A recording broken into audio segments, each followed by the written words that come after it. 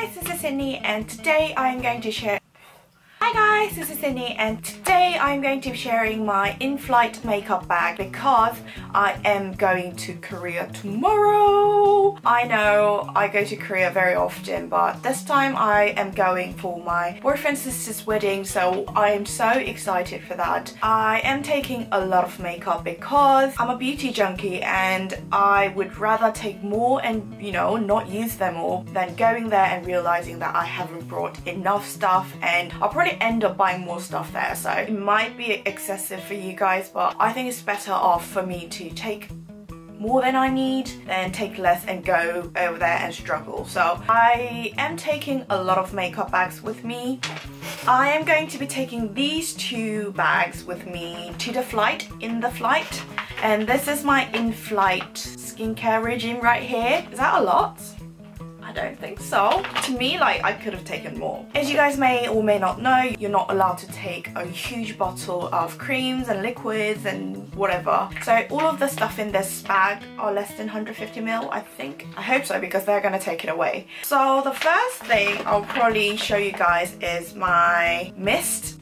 I've actually gone through like half of it, more than half of it. I like to take this to spritz it on my face before I get off the flight. Usually during the flight, I would not have any makeup on and before I get off the flight, I would take my cotton pad and spritz this on my face and just take any dust off my face and then redo my skincare regime and put a little bit of makeup and get off the flight. In the flight, I don't tend to wash my hands because, especially when I'm I'm touching my face because I've heard that the water in the plane they are recycled. So before I never knew that. So I would wash my face in the flight and I would break out like crazy. I thought it was like the stress and the lack of sleep but it was actually the water. So I'm very very sensitive to water. I never wash my hands in the flight. I would instead take like a sanitizer or like wipes even like face wipes to clean my hands before touching my face. Or another option is ask for a glass of water and just wash your hands with drinking water instead of the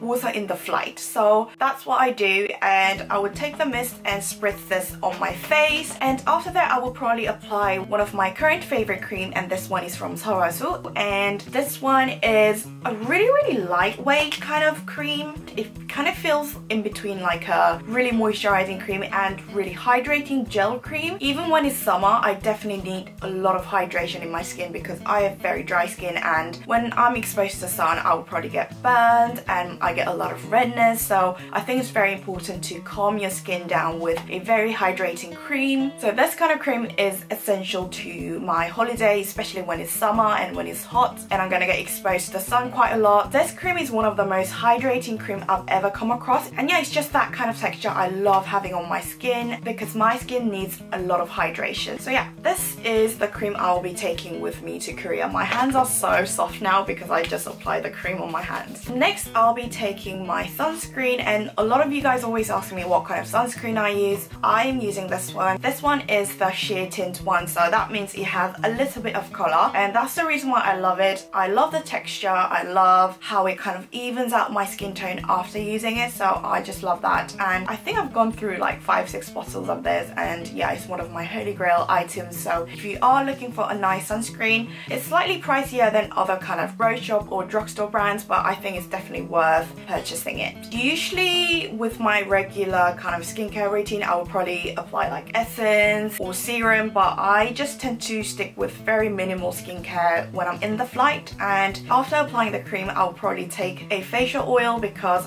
I always have to have some kind of oiliness on my skin and I love this rosehip oil from Tisserand and I would go with like half a pump and rub the oil in between my hands and just gently press it on the skin. That's what I would do after applying my cream. I also take this, this is my in-flight essential product and this one is from Elizabeth Arden. I use this as a lip balm, works perfectly as a lip balm and I also apply it on my dry patches. Just has the texture of like honey. If you're not kind of used to this kind of product, you would think, what is this? But I always make sure to take this with me. So yeah, that was the last product in my in-flight skincare bag. And then here's my in-flight makeup bag. You know, I like to look presentable to the public.